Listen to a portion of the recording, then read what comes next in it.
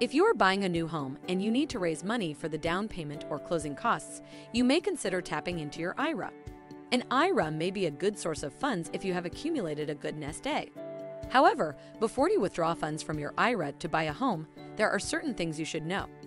If you are a first time homebuyer, you may qualify for a tax exemption on your IRA withdrawals. You can withdraw a maximum of $10,000 from your IRA to build or buy your first time home.